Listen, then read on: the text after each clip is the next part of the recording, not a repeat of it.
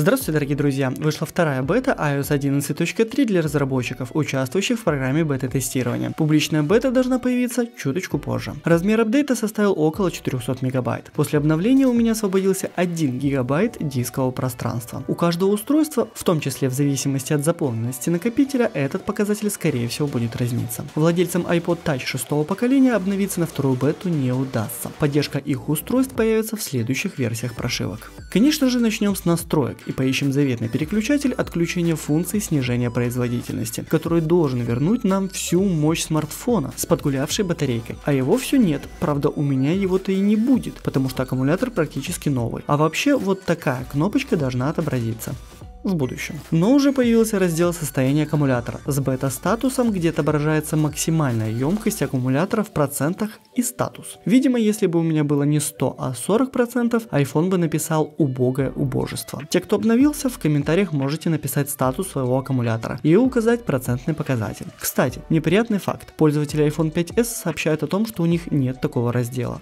Это правда? При первом запуске App Store появится плашка приветствия с разделом управления данными, в котором рассказывается о конфиденциальности и в очередной раз знакомится с значком, который будет отображаться при сборе персональной информации. Если перейти в раздел с купленными приложениями, то можно заметить дату покупки или первого скачивания, если приложение бесплатное. Сортировка отображается по дате установки, от самых свежих до самых старых. А если открыть какое-нибудь популярное приложение и тапнуть по его месту в каком-либо разделе App Store, то откроется этот раздел раздел. Пользовательские комментарии в App Store можно сортировать по четырем категориям. Skype теперь запускается корректно. На прошлом обновлении при запуске случались выбрасывания на Springboard, да и во многих сторонних музыкальных приложениях были устранены проблемы с воспроизведением треков.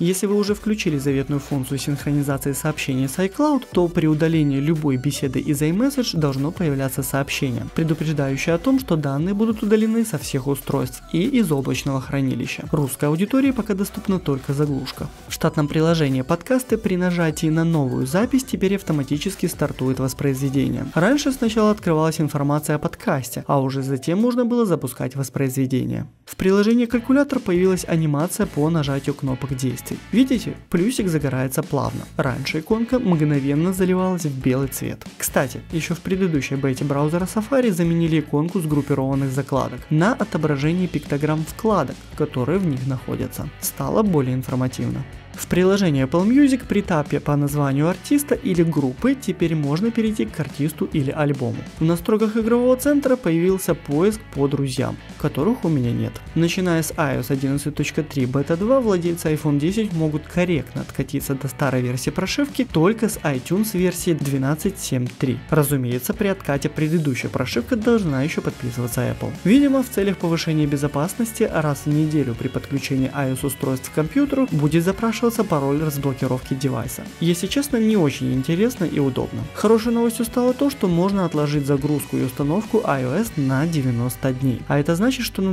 надоедливое сообщение об обновлении не придется больше затыкать установкой профиля от Apple TV. Полный список изменений iOS 11.3 Beta 2 на экране. Если кому-то интересно изучить его детально, нажмите на паузу. Результаты синтетических тестов Geekbench 4 и Antutu на экране. Разницу с предыдущей бетой можно спокойно списать на погрешность. Полевые тесты показали, что предыдущий финальный релиз iOS 11.2.5 работал шустрее. Особенно это заметно на iPhone 5s. Более новые устройства уступают лишь на доли секунд. Про автономность не спрашивайте, а лучше идите в комментарии и делитесь впечатлениями, потому как за 12 часов ничего толком проверить не удастся. На этом все. Напомню, что финальный релиз iOS 11.3 должен состояться в начале весны, так что еще где-то месяц придется обождать. Там уже и решим, владельцам каких устройств стоит обновляться, а каких нет. На этом все. С вами был Вадим Ищенко на канале Протек. До скорых встреч. Увидимся в следующих видео. Пока-пока.